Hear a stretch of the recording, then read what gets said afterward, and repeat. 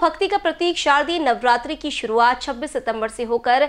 सारा शहर मानो माता रानी की उपासना और आराधना में लीन हो गया हो। शहर के सटवा माता मंदिर बस स्टैंड, माउली माता मंदिर, दुर्गा माता मंदिर गटकरी चौक, जय माता दी, दुर्गा मंदिर, पुराना अनाज बाज़ार, संत सीताराम महाराज मठ, माता मंदिर, माता खेड़ी, दुर्गा मंदिर, चिचपुरा, शीतला माता मंदिर, पहले पार, हिंगलाज माता मंदिर मोहपार टी पॉइंट आदि मंदिरों में सुंदर रोशनाई और घट स्थापना व मनोकामना ज्योत प्रज्वलित कर माता रानी की उपासना की जा रही है। वहीं प्रगति दुर्गा उत्सव मंडल होली चौक, जयसवाल मार्केट, मड़की चौक, सावनीर सहित अन्य जगहों पर भव्य पंडालों में माँ दुर्गा की भव्य प्रतिमाएँ और घट स्थापित कर नवरात्रि महोत्सव बड़े ही श्रद्धा भाव से मनाया जा रहा है।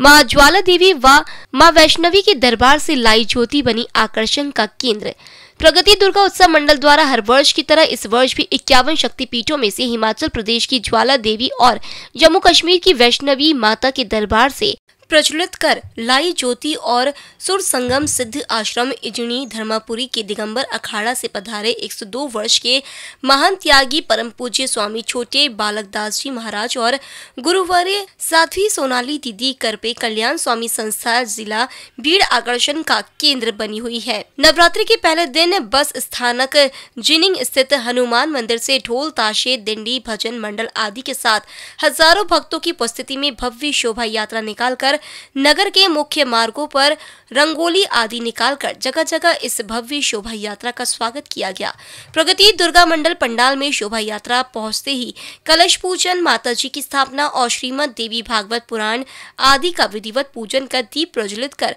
शारदीय नवरात्र की शुरुआत की। इस अवसर पर प्रगति दुर्गा उत्सव मंडल के अशोक उमाटे, तुषार उमाटे, भोजराज सोन कुसरे संजय जवाहर, राजू सावरकर, नरेंद्र ठाकुर आदि प्रमुखता से उपस्थित थे। सावनेर से एनबीसी न्यूज़ के लिए संवाददाता किशोर ढूंढेले की रिपोर्ट।